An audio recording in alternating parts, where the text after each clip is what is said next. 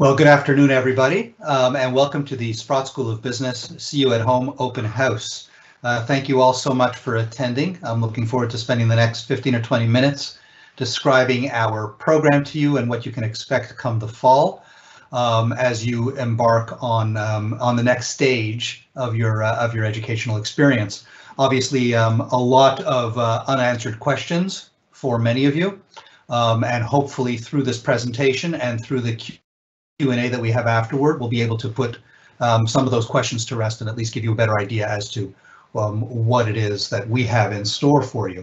Um, I did want to um, first start off by, um, by well introducing myself. I'm the Associate Dean of Undergraduate Studies. I'm also an Associate Professor of Finance. I teach uh, upper level finance courses um, and and as associate dean, my responsibility is to um, govern or manage our two undergraduate programs, the Bachelor of Commerce and the Bachelor of International Business. I'm going to take you through both of those in their present state. I'll talk about some of the tweaks that we have planned for this year, given what's going on um, in terms of the pandemic, um, but did want to give you a big, um, I guess, a broad strokes view of what um, the Sprott School of Business is all about. But I also wanted to take take a couple of minutes just to um, hope that um, that this finds you and your families all in good health as you all navigate this new world uh, and try to figure out um, how best to um, to equip yourselves um, and deal with these with these uh, present conditions. Um, uncharted waters indeed, but what these uncharted waters present us and certainly presents to us as a business school is an incredible learning opportunity. We're faced with an opportunity here to um, live take a look at how businesses can cope, how businesses can sustain, can react, and can maintain so that um, they can be successful in this potentially new world order. Um, if we can take a silver lining out of that, it's exciting in that it gives us an incredible laboratory opportunity to learn how best to deal with these types of things. Obviously, these aren't um, circumstances that we would wish, but um, but they are what they are. And I just wanted to at least preface that. Um, as you all know, um, health and well-being of everybody, both on campus and those who are coming to campus, is paramount. And everything that we're doing through the next couple of months as we prepare for your arrival is all about ensuring that um, health and well-being is first and foremost with regard to all of the decisions that we're making with regard to delivery, etc. Um, so with that, if I could um, uh, just make a couple of announcements really quickly before we start. You'll notice on the side that there's an opportunity to ask questions. Um, and there is a, um, a moderator who has just posted a Q&A announcement for you. Do take the time to ask us questions. We have people in the back who are working from um, on admissions, residence, financial aid, um, international team as well for students who might be um, uh, tuning in from abroad, as well as Sprott specific um, folks who can deal with Sprott questions. Uh, some of them we might be able to answer directly within the conversation. Uh, others we will try to deal with through typing or perhaps responding to you later via email. Um, but we will uh, hopefully be able to get through everything. But please do, if you do have pressing questions that aren't addressed, um, just put them in that panel and we'll try to get to them as best as we can. Um, I'm also going to be asking um, um, our moderator to um, to hit the next slides for me as I get through them. So um, again, this is new for me as well. I haven't often done presentations um, open houses to a closed house. So uh, so please bear with me as I go through this. so Carly, please next slide. There's a five second lag apparently. We tried this before. There we go. So my first joke is that this building was this picture was taken this weekend um, when we had the snow here in Ottawa, but no, of course that isn't the case. This is our new building, uh, the building that will, uh, up until about a week ago, construction had stopped, obviously because of the pandemic. Um, it has since progressed, thankfully, uh, obviously with social distancing of the workers involved, um, but we are on track for hopefully uh, move in sometime in between your first and second year. Um, we're not sure exactly when that will be because obviously there have been some delays with regard to the pandemic and the and the freeze on construction, etc. But that's what it looks like. Well, without the snow anyway, thankfully, that's what it looks like from the outside. If you're looking at it from the quad area. Uh, next slide, please, Carly. And as you can see on my background, as well as this picture, notice how everybody there isn't practicing social distancing. So this was obviously drawn a little bit earlier. That's what the building will look like once it's complete. Um, the um, the O train you can see off on your right is um, is actually dropping students off right there. So the first building that they would access would in fact be the Sprott School of Business, where they would enter into the tunnel system through our building if they wanted, or alternatively, if they were Sprott students, they would come directly to class or grab their coffee um, or meet with their friends in the lobby. Next slide, please. And that's what it looked like on the inside about two or three months ago, at the same time that picture was taken from the outside with the snow. Uh, you enter into a space. Now, this building was built with purpose. And the reason why I'm showing you these pictures is not so much to brag on the new building necessarily, although it is fun to brag about the new building, but um, but this building was built with purpose, and it was built with um, the idea that an appropriate environment for business students is one that encourages collaboration and networking. Uh, what that means is that a space needs to be able to support that. Um, rather than being in, let's say, a high rise that has a very um, small floor plate, uh, we opted for again on purpose, a very wide floor plate so that there are breakout sessions, there are study sessions, there are spaces where students can actually go and congregate. Obviously, pandemic aside, social distancing aside, that, that we'll all talk about that later, um, that allows for the exchange of ideas. Again, if um, if you're thinking about going to business school, I'm sure in your in the discussions that you've had with mom and dad at the dinner table, um, or with um, with your caregivers, whomever they may be, with regard to making this decision. Uh, it's all about understanding what it means to support a business, to help a business grow, to help a business solve specific problems. And you can see, as I mentioned earlier, with regard to the pandemic that was thrust upon us, we're given a situation now where we can actually try to think about solving some questions that we've never had to deal with before. And that's that's challenging, but it's also exciting in, in, in, in, in one, as I said, silver lining way. And this building allows us to do that. Carly, next slide, please. And that's what it's going to look like when it's complete. And we're almost there, as I said. Um, notice how there is a, a big screen, a big live screen right in the middle that will be broadcasting all sorts of events, whatever those might be. Um, there's a very fashion conscious woman off on our left who has a pretty cool hat going on and a purse. I don't know what her story is and what course she's coming from, but uh, she looks like she's having a good time. That's what the building is going to look like on the inside. Um, as you can see, an awful lot of space for ideas to be generated, and that's what it's all about. The whole preface or the whole premise of, uh, of a business school is to allow for, you'll see those three C's that I have up on top there, create, creative, connected, and caring community. On the creative side, it should be fairly self-evident that a business school and business students in order to be relevant and in order to be topical, needs to be creative, needs to think outside the box. Things change as we're seeing happening, as I said, unfolding in front of our eyes right now. This is not the same world that we would be seeing in the textbooks presently. So we need to be creative and understand how the tools that are presented in our classrooms are such that allow us to come up with unique situations or unique solutions that that target these specific problems as they arise. In some cases, they might be overwhelming, as we're as we're um, uncovering now, but in other cases, there are problems that we can actually chip away at. So creativity is key to a business education and key to your development. Connectedness, connected is another one. How do you maintain a connectedness and certainly in the virtual world now, how does connectedness change and what does it mean to be connected in a business environment? We know that um, in order to uh, exchange ideas, in order to help solve problems, in order to actually um, engage in commerce and trade goods or ideas, you need to interact. What does interacting mean? Well, certainly in 2019 world, it means getting together into a meeting room, hammering out ideas, coming up with the best possible solutions, and then trying to implement and execute.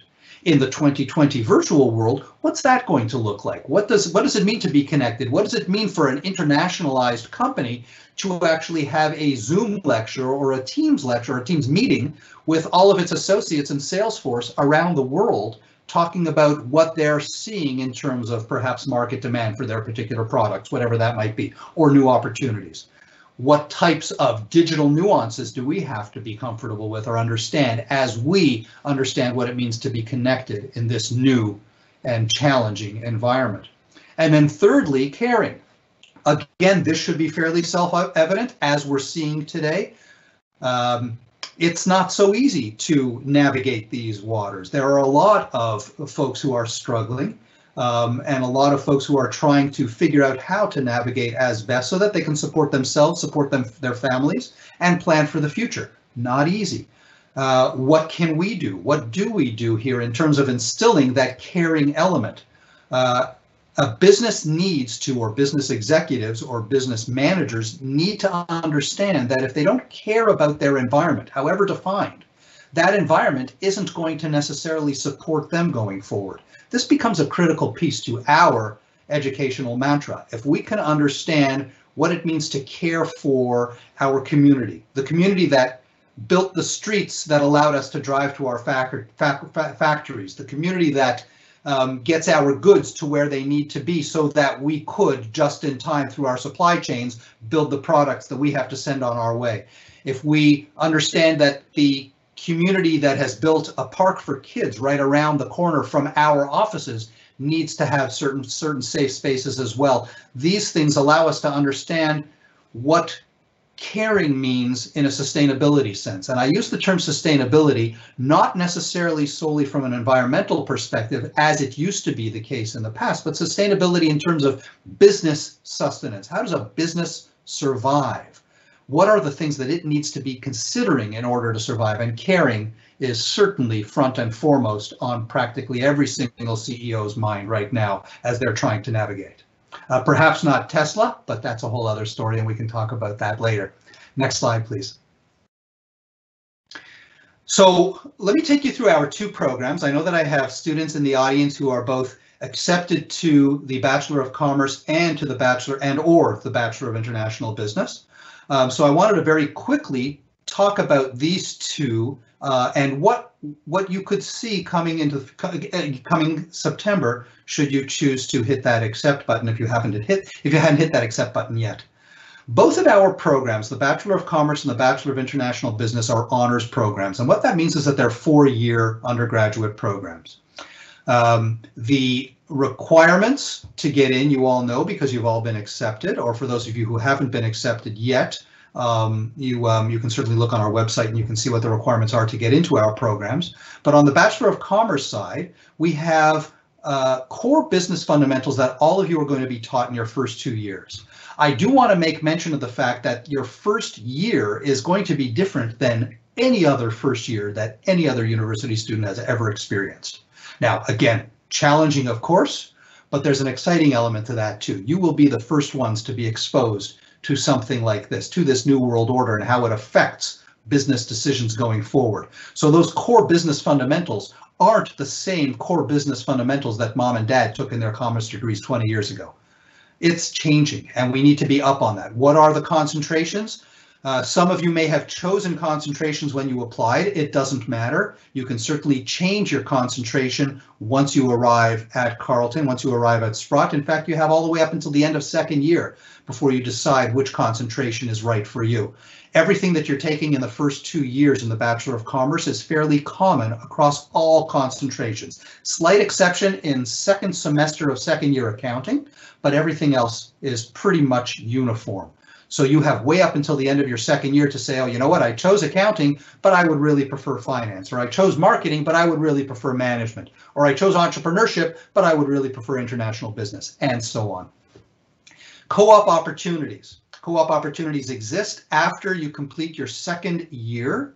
Um, we are working on the assumption that by the time we all complete our, by the time you all complete your second year, we will have a pretty good idea as to where we are with regard to the present pandemic and what um, the government allows us to do in terms of social distancing and in terms of opening up offices and so on and so forth. So a lot of that will change and we have plenty of time to address that. Um, study abroad, notice I have that in brackets and there's an obvious reason for that. Effective this fall, there is no study abroad for the fall. But again, we are anticipating that um, once um, a vaccine is uncovered once we figure out how to deal with this pandemic appropriately, studying abroad will become much more of an option for those of you uh, wanting to go away in perhaps your third year, first semester. Um, you or second semester for that matter. You have the opportunity to add a minor in another subject, and here it gets pretty interesting on the BCom side. When we're talking about a minor, we're looking at a complementary degree or a complementary set of courses, excuse me, in another faculty.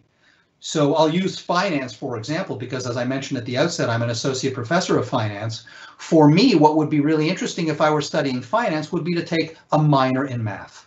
A lot of the financial elements on my in my in my finance world are on the investment side where I deal with investments in the markets, uh, options and futures, all sorts of things that are fairly math heavy. And from my perspective, it would be neat to have a minor to support me uh, in that regard. With regard to the um, other, perhaps marketing as a concentration, other minors like psychology might be interesting, or things like that, economics, uh, statistics. There are many opportunities outside of our faculty to add to and expand on your degree, and that's the Bachelor of Commerce. Roughly 450 to 500 students get into the Bachelor of Commerce in any given year um, which is, uh, uh, I'd say, probably a magnitude of five or six times the size of the BIB, the Bachelor of International Business. The Bachelor of International Business is in fact a an honors degree as well, but this one is more focused on international business per se. International business doesn't necessarily mean international travel, although that is a cornerstone of the Bachelor of International Business as it stands now. But international business too is morphing. I mentioned earlier that there are going to be changes with regard to how we digitally communicate now, how we virtually communicate um, across borders. That's something that we're going to be addressing within the BIB. So again, You'll notice that last bullet says mandatory study and or internship brackets abroad. As of right now, there is no abroad, but certainly by the time those of you who are in the BIB reach your third year, you will be planning to travel abroad. What's exciting as well is that it's not just study. There's the opportunity to have an internship abroad. And that internship could potentially be virtual as well um, if it was a domestic internship that dealt with international companies. So there's interesting opportunities there. The other element that's unique to the BIB is the intensive language training. So there are five languages that you have the choice to taking. Um, all of those languages are um, are available to you in accelerated form. So effectively, in your first two years, for example, with German, you would be taking four years worth of uh, German in your first two years, so that by the time you all hit third year, you'd be ready to go abroad. I'm looking at a question on the side which says, will all the classes have three hour lectures online? That's an excellent question. Uh, and the answer is no, not necessarily. What we're working on in terms of preparing for class delivery, as you can imagine, is having somebody staring at a screen for three hours is probably no, not the most productive way to deal with Zoom or Teams or anything like that. Uh, we're looking at um, perhaps um, snippets of lectures that might be 15, 20 minutes in length that would be available in asynchronous or in different times so that it would be a canned lecture that you could look at. You can then take that lecture, um, watch it at your leisure, and then perhaps have a uh, breakout session that would be live in your class that might last for 50 minutes or an hour where you would have questions and discussions that would take place amongst a much, a much smaller cohort of class. So you would go and do your lecture, you would watch your lecture on your own, perhaps 15 minutes of this subject, 20 minutes of that subject, so on and so forth. It will depend on the course um, and it will depend on what material needs to be conveyed, but a three-hour lecture is certainly not what we have planned in terms of ensuring that everybody's attention span is maintained. Excellent question. Um, next slide, please. At, um, at Sprott, we pride ourselves on what we refer to as a three-pronged approach. What I alluded to earlier with regard to the building and what is critical to business success is focusing on what I call academics, engagement, and career as the three prongs of attack. Um, we have a central office that deals from an undergraduate perspective all with all three of those. We have advisors who deal with your academics. We have advisors who deal with your engagement elements within academics and within other social activities. And we have a dedicated career center that helps take your academics and your engagement and package it into career opportunities.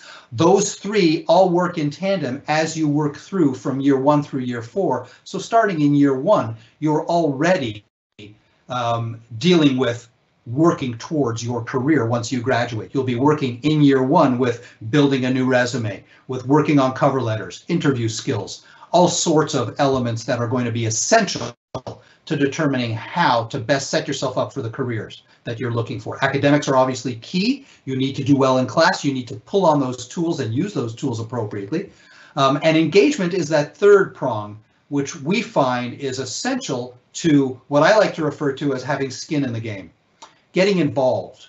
Um, if you've got skin in the game so that you have a stake, um, you have an interest, you are much more inclined to participate in your academics and in other activities as they present. What um, we have um, our outgoing SBSS president, Zara Shah, who's going to be coming online in a few minutes to talk about specific engagement opportunities and as they pertain to SBSS, which stands for the Sprott Business Student Society, which is going to be all of you running your society, running your student council, so to speak. That, as I said, Zara is the outgoing president on. She's going to talk about really cool engagement opportunities that we're going to be implementing come the fall that we've never done before. Again, because why? We haven't had to deal with an online environment like this. So how do you engage in an online environment? And they've got some great ideas that they're working on that we're helping them support, which will also come into play with regard to that three hour lecture discussion that I just talked about as well. So keep that in mind. Next slide, please. I want to talk about this very quickly, um, and specifically because although we have those three prongs with regard to uh, academics, engagement, and career, the fourth and probably most critical element of a business education is what I'm going to refer to as agility. How quickly can you move? How quickly can you find out what that new problem is and go out there and try to solve it? We've just started this up literally a month ago.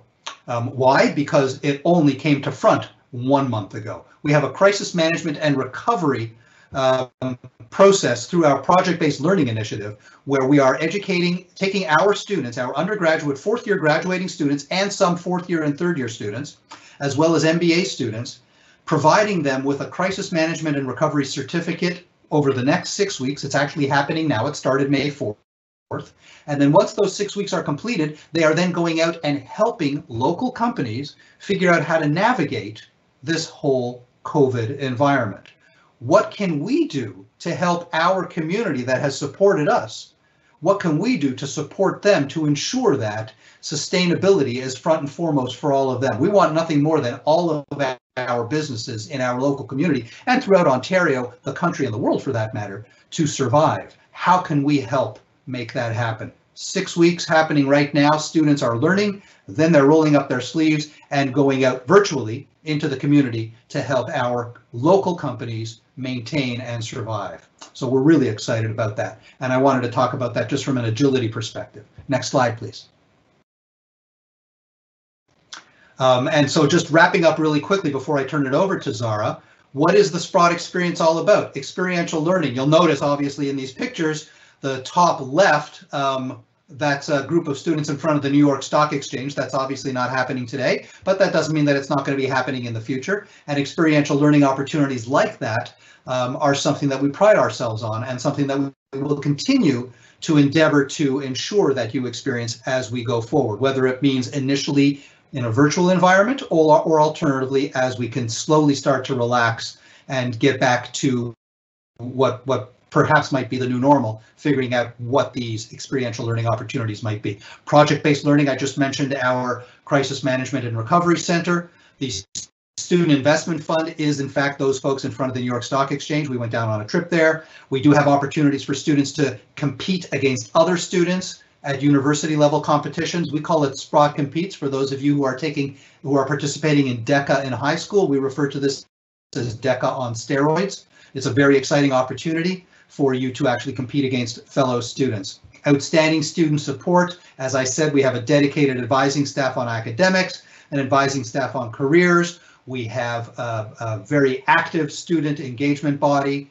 We also have a new initiative referred to as an employability passport, which takes you through specific skills through your four years in that career center that focus on, on ensuring that you are as best equipped as possible for that interview four years from now.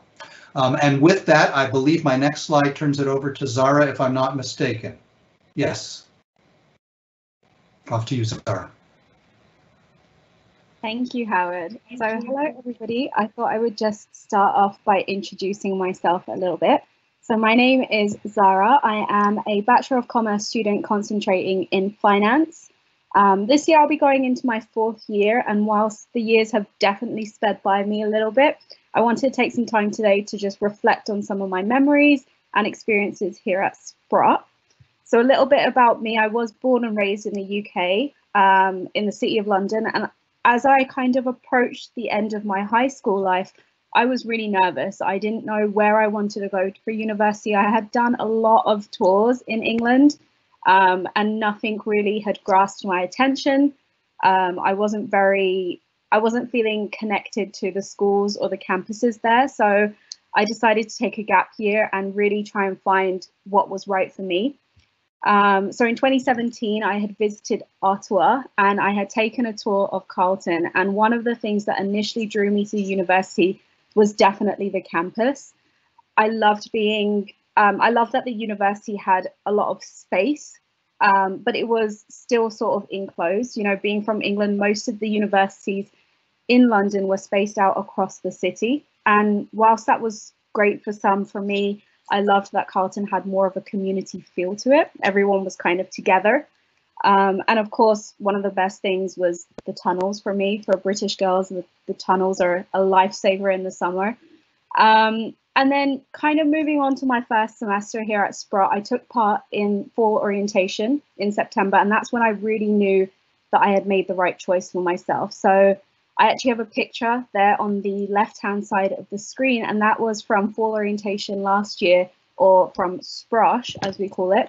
Um, and it really brings back a lot of memories of my first Sprosh um, because that's kind of where the rest of the years really um, started for me. That's kind of where all of my memories started. It, you know, it's the it's the place where I cracked my first case. Howard talked about Sprott Competes. You know, that's where you do your first case crack. Um, I met the Sprott Business Student Society team, or the SBSS team, as we call them. Um, and I knew right away that I wanted to get involved in those extracurriculars to try and meet new people. I really loved the engagement and the energy that these people had. So I really wanted to get involved right away.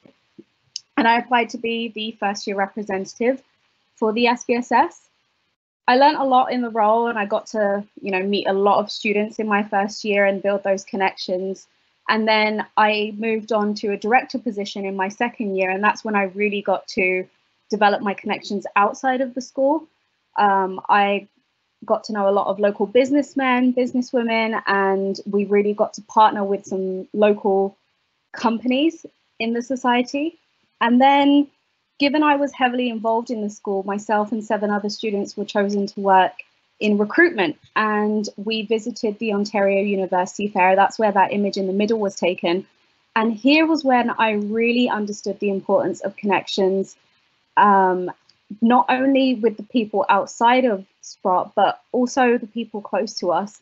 I think one of the most valuable lessons I've realized in my term, in my years here at Sprott, is that network doesn't just mean the people outside of school. It it really is a lot closer to home. So I got to meet thousands of prospective students at the fair, but what was more important to me was the fact that I got to spend time with our dean, Dean Brown, um, and a fellow fellow student who um, is actually in that picture, Emma. So funnily enough, I had never met Emma before, and I don't think I would have if it wasn't for this opportunity. And now Emma and I are in all of our projects together. We decided as soon as we came back from that fair that we wanted to do all of our class projects together. And um, she's one of my closest friends now. So I think that's one of the most important things is that connections doesn't mean who you meet outside of school, but also the people around you. And if you don't take those opportunities, you won't ever get to meet those people around you.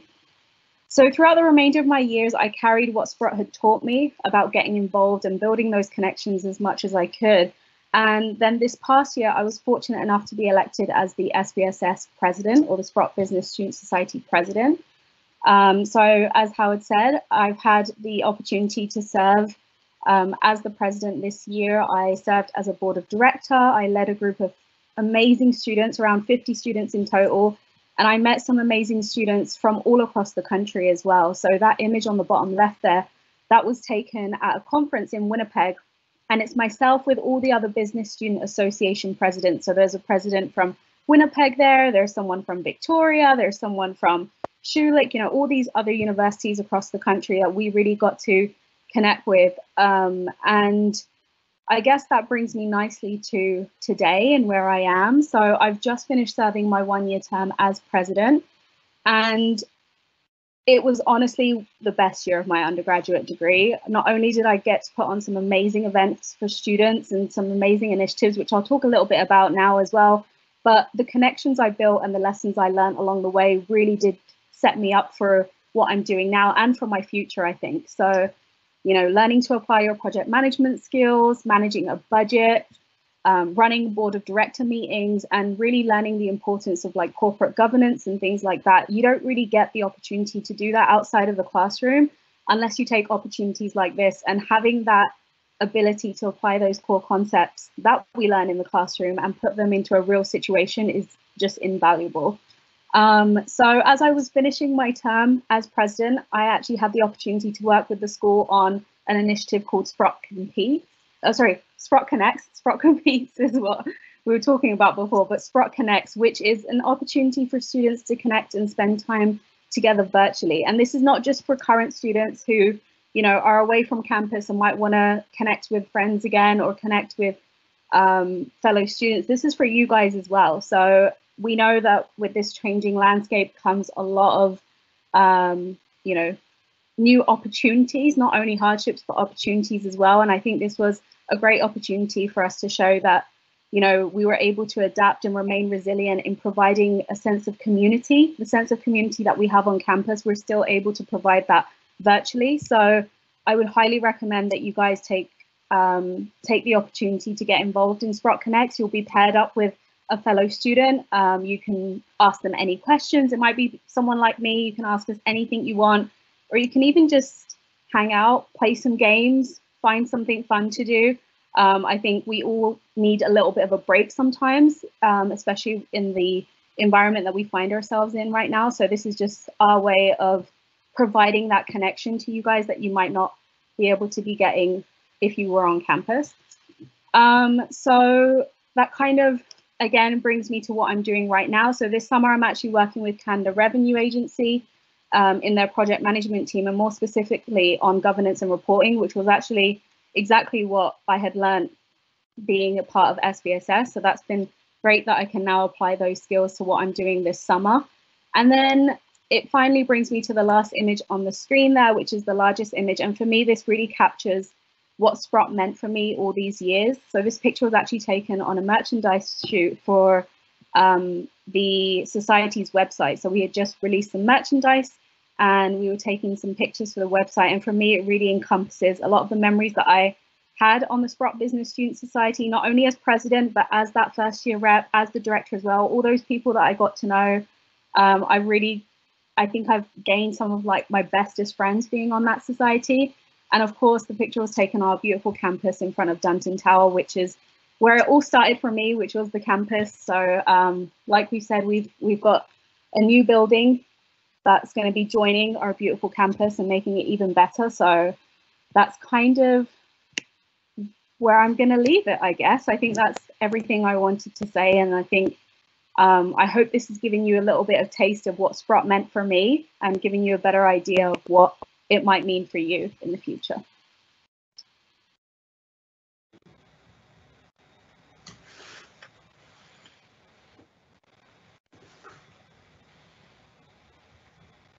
Excellent. Thank you so much, Zara. That was um, that was incredibly informative, especially the Sprott Connects. There was a question along the sidebar that was asking about whether we would be able to, or whether uh, the student would be able to, vert would be able to, to connect with and network with other friends um, meet other people, whether, whether it be in class or whatever. And Sprott Connect certainly gives hopefully some insight as to how we are trying to make this as normal as possible so that we have the opportunity for students to actually engage um, and and and make new friends and make new associations and network um, in this new and as I said uncharted world. Um, which brings us to our Q and A. Um, there have been some questions that have been flying along the side that I've been trying to answer to the best of my ability. Um, and um, and if we can get to all of them, great. If uh, if not, then we'll get to them um, through the next uh, 15, 20 minutes or so. Um, but I just wanted to very quickly, before I turn it over to all of you, um, just say that uh, as you're all now facing this situation of, okay, what am I going to do in September and how this is, how is this all going to work? Know that um, first and foremost, your health and well-being is is paramount. This is what we're here for. We're obviously here to educate you, but we want to educate you in a way that ensures that your health and well-being is is uh, first and foremost is is is is is key to our success. Um, as you've gotten a little bit of a taste as to whom we are and perhaps some more questions that you have over the next 15 20 minutes or so will enlighten you a bit more um, hopefully this gives you a better sense of what it would mean to become a Sprott student. Um, hopefully some of the insights that Zara had shared with you uh, gives you an idea from a student's perspective. Obviously, I can talk to it from an academic perspective, but I think that hearing it specifically from Zara, your ex-president of the SBSS, or outgoing president of the SBSS, um, uh, I think puts it in a different light. So that's uh, that's hopefully something that, from an informational perspective, was useful. Um, with that, as I said, there are folks uh, behind the scenes who are answering or able to answer all sorts of questions with regard to admissions, financial aid, international elements, uh, residence, all sorts of things. Um, and then we certainly have Sprott specific. I can I will stay on the line for a few more minutes should there be any Sprott specific questions that you want me to answer beyond what I've answered in the sidebar already. Um, and uh, and if there are if there are none, um, great. If there are some, then great as well. Uh, but in the meantime, as I said at the outset, I wish you all obviously the best of health, and thank you so much for spending the afternoon with us.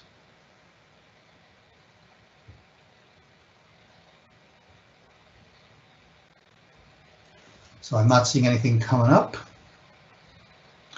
Notice that the moderator has just posted the Sprott Connect um, URL so that you can you can take a look at that and take Zara up on her offer of uh, speaking to her about uh, about all of the um, the tricks and tr tricks of the trade.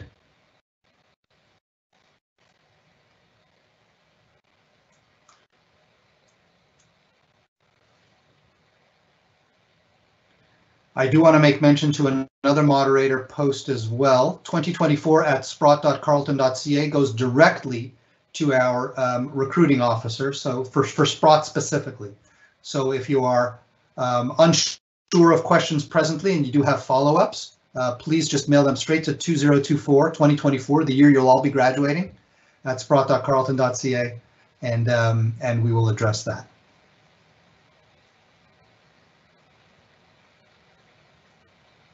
All right, so with that, Carly, should I sign off then? And then uh, if there are any other questions, people can then send them through the chat? Excellent. Well, thank you all again for taking the time, and I hope this was informative. Uh, again, if you do have any questions beyond, please just email us and we'll do our best to answer. Look forward to seeing many of you, if not all of you, come September, and I do wish you all a safe and healthy summer with you and your family. Take care, everybody.